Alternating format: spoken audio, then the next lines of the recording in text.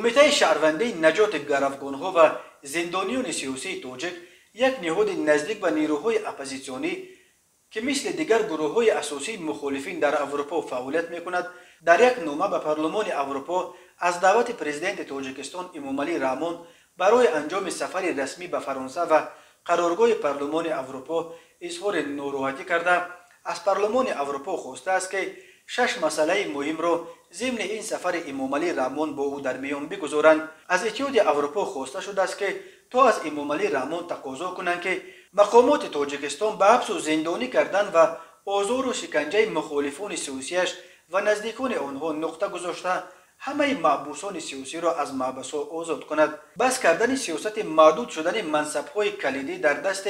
аъзои хонавода ва хешу табори наздики президенти тоҷикистон роҳ кушодан ба фаъолияти ҳизбҳои сиёсӣ таъмини асли ивазшавандагии ҳукумат фароҳам овардани дастрасии мардум ба озодиҳои шаҳрвандӣ риояи қонуни асосии тоҷикистон ва меъёрҳои ҷаҳонии ҳуқуқи башар аз ҷумлаи дигар талабҳоест ки кумитаи шаҳрвандии наҷоти гаравгонҳо ва зиндониёни сиёсии тоҷик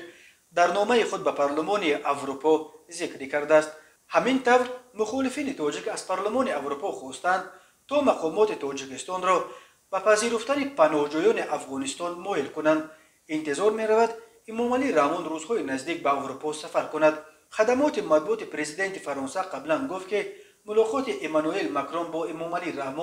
در پاریس روز 13 اکتبر به نقشه گرفته شده است. پرزیدنت تاجیکستان بار آخر دو سال پیش ماه نویابر سال 2019 از فرانسه بازدید کرده بود. ولی ظاهرا تغییر کل وضع حربی و سیاسی افغانستان ضرورت سفر نوی او را به فرانسه پیش آورده است. دعوت او در حال صورت گرفت که پرزیدنت تاجیکستان قاطعانه از رژیم نو طالبان در افغانستان انتقاد می‌کند و این گروه تندرو را به آن عیبدار می‌کند که افغانستان را دوباره برانه تروریسم بین المللی تبدیل داده ایستاده است. امام علی رحمان امین طور از جبهه مقاومت ملی افغانستان раҳбарии аҳмади масуд ба зидди толибон меҷангад ҳимоят мекунад ва барои тоҷикон ва дигар ақалиятҳои қавмии афғонистон дар ҳукумати нави толибон ҷойгоҳи шоиста талаб дорад.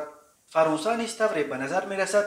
режими нави толибонро чандон хуш надорад. Ин кишвар дар солҳои навадум аз ҳаводорони муборизаи аҳмадшоҳи масуд падари фақиди аҳмади масуд ба зидди режими қаблии толибон буд ва аз лиҳози сиёсӣ аз ӯ ҳимоят мекард